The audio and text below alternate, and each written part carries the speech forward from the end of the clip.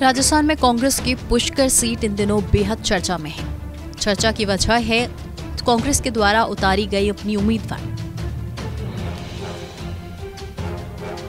कांग्रेस ने एक बार फिर नसीम अख्तर को पुष्कर से टिकट दिया है।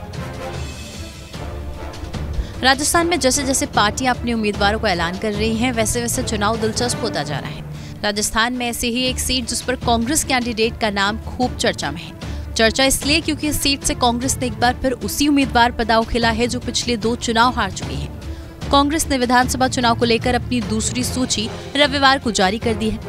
पुष्कर विधानसभा क्षेत्र से पार्टी ने तीसरी बार पूर्व शिक्षा राज्य मंत्री और पीसीसी उपाध्यक्ष नसीम अख्तर इंसाफ को फिर मौका दिया है।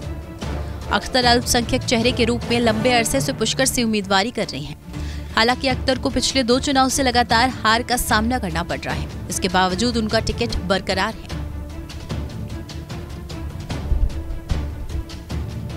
कांग्रेस ने दूसरी बार नसीम अख्तर को पुष्कर से टिकट दिया है। इससे पहले 2018 में विधानसभा चुनाव में वो बीजेपी के सुरेश सिंह रावत से चुनाव हार गई थी। पुष्कर में भाजपा की तरह ही कांग्रेस ने भी जातिगत आधार पर ही नसीम अख्तर को उम्मीदवार बनाकर साफ़ कर दिया है कि ज़िले में एक सीट अल्पसंख्यक के खाते में रहेगी।